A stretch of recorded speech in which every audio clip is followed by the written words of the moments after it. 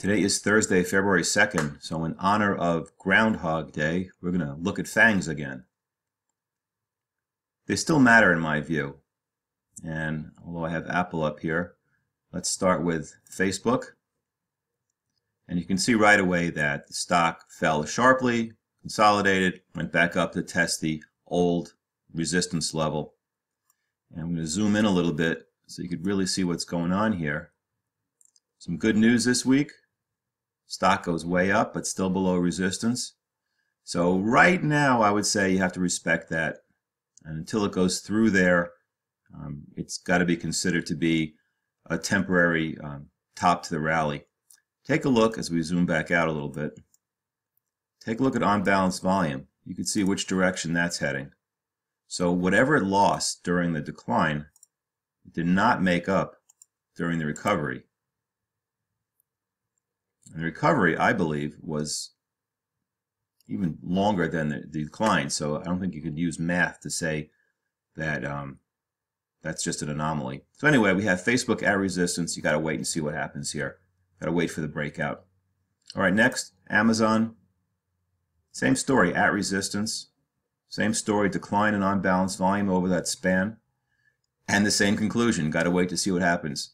Whether it's going to break through resistance or it's going to get stopped at some of these averages here. Uh, I don't have any averages drawn, but we can use a short-term trend line as a proxy. I don't think this one's quite so relevant unless it does nothing for a month or so. Anyway, it's a wait and see on Amazon. Netflix is really nothing here that I see. It's through this resistance, so that's a positive. It's in nice high territory. It avoided bad problems with this gap up and closed right near the lows for the day. You can see it really didn't follow through on that. So again, the trend is still up. Don't have resistance overhead.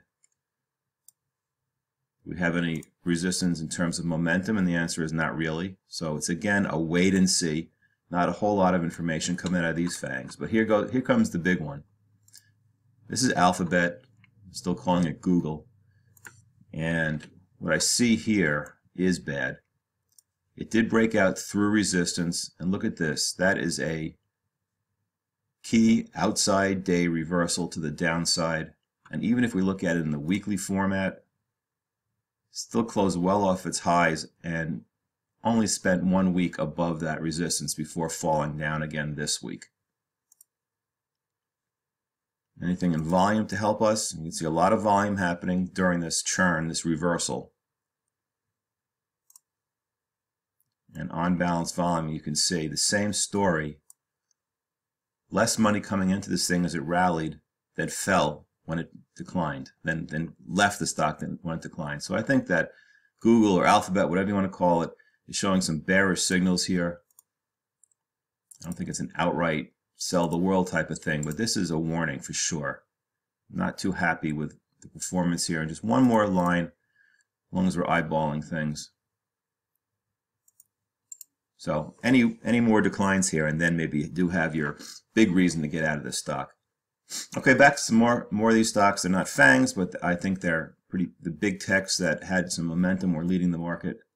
See, Microsoft broke out to new highs on a gap and failed. I think that's pretty bearish, at least very short term. Probably need another day to break that trend line.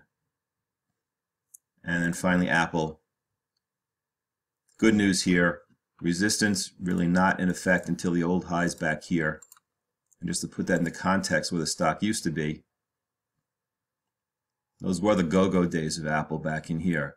And it looks like the stock has a date with the same levels. But past that, you know, is this a good risk to take? You know, you're going to make, what, three or four points on a $128 stock versus the risk of it coming back down with the rest of big tech. So not a whole lot of information on the Fangs and their and their friends. I do think Google or Alphabet has some problems. Microsoft is close to problems. Apple looks pretty good, but the risk reward, I'll let you decide that on your own.